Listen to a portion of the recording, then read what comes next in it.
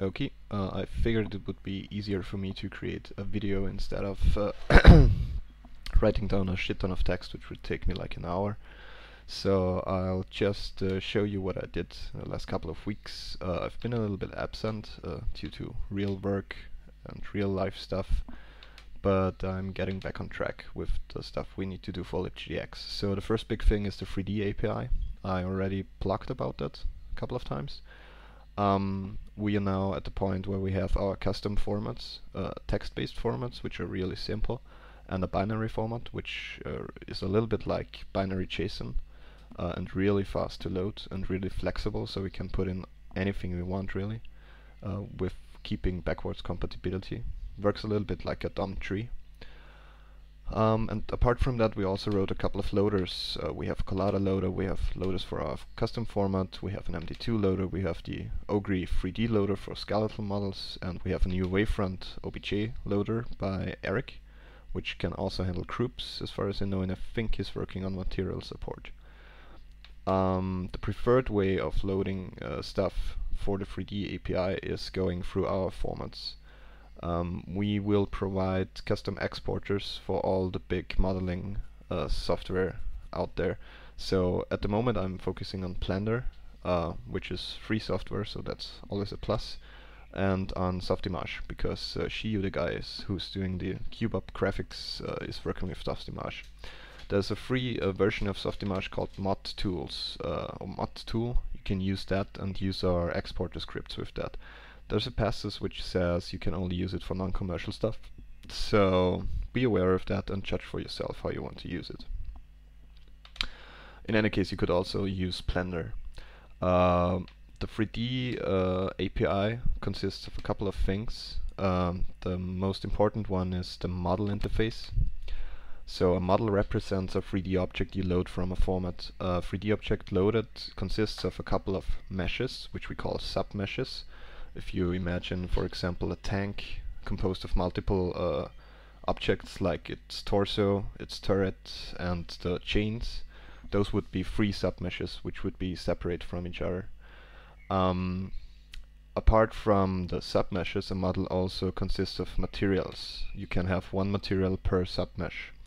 Um, material specifies things like the color of the submesh, uh, textures used, um, and for shader programming, probably also things like uniforms or constants, stuff like that you need uh, in your shader to do some special effects. Uh, this also includes stuff like bump maps and, and specular maps and stuff like that. So it's really simple to use, so I'll show you how to do that uh, in a bit.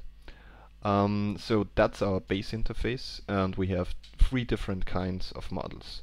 We have a still model, which is basically just implementing straight this interface.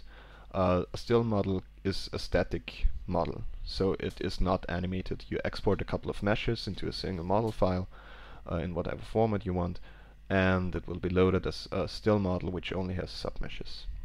Uh, the second format, or the second model type we have is a keyframed model. Uh, keyframed models are uh, working like the old MD2 format to some extent. We made it a little bit more fancy, so you can actually animate uh, UVs as well, which can come in handy when you want to do stuff like floating lava and etc. etc. Um, a keyframed model is an animated model, and all animated models share the same interface. So they implement the model interface and they implement the animated model interface. And uh, setting the animation for a model uh, is really fucking simple. You just say set the animation, the animation name, the time within the animation, and whether it's looping or not. Uh, that's like totally sufficient for 100% of use cases usually. Uh, we are providing you full access to all the internals as well if you need something more specific or more special, which is not covered by this thingy. So the animated model interface is implemented by the keyframed model, which uses keyframes. Uh, this means it's really seriously fucking fast to interpolate and animate, but it takes up quite a bit of, of memory. Shouldn't be a problem in most cases.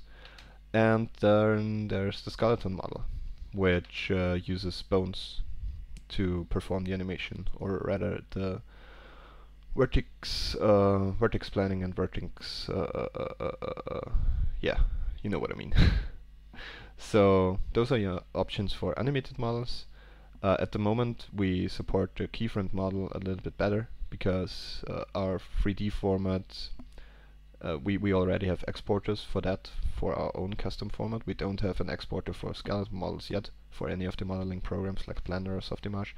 So this will take a little bit. Um, you can currently load skeletal models from Ogre 3D XML files.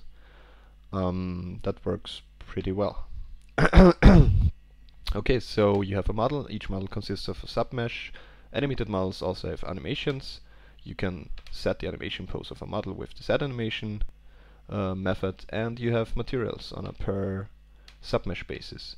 So materials are pretty fucking easy as well. If you've played around with meshes, you already know vertex attributes, like a vertex attribute for position, a vertex attribute for a texture coordinate set, stuff like that. Materials work exactly the same. You have a material which has a name and a bunch of material attributes. One such a material attribute could be a texture attribute, which basically just binds uh, a texture and uses that while rendering a submesh of a model. So that's really fucking simple. Um, we have a couple of test applications uh, for the different model uh, um, model types. Uh, you can check out the trunk. Uh, it's contained in extensions, model loaders, model loaders, this is, this, in a tests package, uh, and there's a couple of viewers and stuff you can play around with and get a grip of how stuff will work with the new 3D API. So you basically just load your model with whatever loader you have, then you load your texture, then I create a material and say, okay, this material is named material, and it has a single attribute, which is a texture attribute, uh, which will be bound to the uniform named as text if you use shaders. If you don't use shaders, this is ignored. This is the texture unit it's going to be bound to. And then just tell the model to set that material for all its submeshes. You can also set the material for an individual submeshes. Uh, since this is a keyframed model viewer, I also get the first animation from the keyframed model, which I will then use to animate and render this stuff. And here's how we render this stuff. I just set the animation based on the animation time and the animation name. Then I tell the model to render itself. That's easy and that's how all the model types work. So load, set material, set animation if it's an animated model type, render, that's it. You can also get things like the current bounding box of the animation pose and stuff like that. Okay, so that okay, so that's the first thing we worked on. And here's a sneak peek at the second thing I've worked on for QBOP, which is a tiny skinnable UI library uh, based on Scene2D and Nate's totally fucking awesome table layout uh, extension. And here's how it looks like. Gonna fire up uh, my Notepad++ in the meantime. Mm -hmm. So here's how the UI works like. Uh, this is a scroll pane and within the scroll pane there's another pane which has a couple of widgets and within that other pane there's a second scroll pane as you can see which is just making sure that you can scroll a list. You can put anything inside a scroll pane and you can lay out your stuff in a table just like with table layouts in Swing or the Migu or whatever it was called layout. Uh, yeah, we have a set of standard widgets like sliders, checkboxes, toggle buttons, uh, normal buttons, uh, lists, and I'm currently working on trees and other common things like text input boxes and so on. And it's a joy to work with, especially with Nate's table layout, and it should be really easy to use. It of course has a couple of limitations. You can't rotate a UI, due to the way we have to clip things. We can only clip screen-aligned boxes, so rotation is out of the question. But you can easily use cameras and scale and even tween stuff, so that all works as long as you don't use rotations. Um, yeah, apart from that, um, there's not a lot I can say. Actually, you can fully skin this shit. So uh, you do this by defining an XML file where you have a library of graphical assets like nine patches, uh, like normal texture regions, uh, and like colors, whoopsie. Yeah, so you have nine patches, regions, texture regions, and colors, as well as fonts. And then you can define for each widget we have, we offer, uh, a, a, style. So for a button, I have a style which is uh, called default, which will be used uh, if you instantiate a button without specifying a style. And here I define which nine patches to use for the button state when it's down, one nine another nine patch for when it's up, as well as the font and the font color to be used for the text that's on the button. And you do the same for all other widgets, and you can have multiple styles for a widget type. So I could easily create a second uh, style, which is called my crazy style, which uses a completely different, um, completely different nine patch. Uh, so I can actually do that right now. Um, I can use, I, will just modify the button style, which is currently using rounded edges or rounded nine patch, which looks like this here. And I will make it uh, rectangular nine patch, and I have a debugging nine patch, which has only a border of a single pixel, so this will look like shit. But I don't care that much. So let's see, we have the rect down and the rect up. Let's restart the application.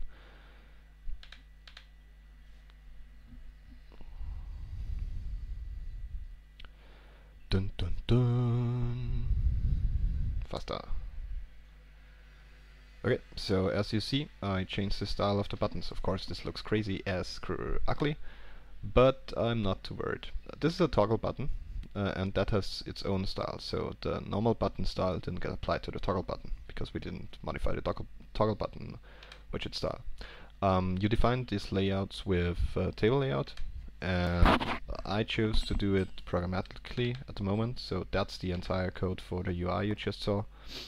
I basically just uh, load the ski skin, create a new stage, then I, then I create a button from the skin, checkbox, labels, sliders, toggle button, lists, and finally I create a container and that container just works like this. You say what alignment you want, then you add widgets, uh, and they will be added to the same row. When we want to start a new row, you just say container row and continue with adding new other widgets. So this is one container, and I I put that container into a scroll pane. So if the container has a bigger uh, size than the scroll pane, the scroll pane will show you scroll bars, so you can easily uh, uh, scroll around on your bigger container. This also this works for any actor, by the way. So you can put in an image, you can put in text, you can put in even more complex UI layouts. You can do whatever you want. As long as you don't use rotation, it will just work. Okay, so that's the things we've been working on. I'm uh, really tight on time, so I can't give you an ETA when this will go public. The 3D stuff is public, the UI stuff I just started on yesterday. So give me a little bit of time and I will eventually move it to um, an extension. I can't put it in core because it relies on table layout and we don't want to have a dependency on table layout in the GDX core. So it will probably uh, be used like you can currently use TWL for UIs. Okay, so that's it. Hope that makes sense.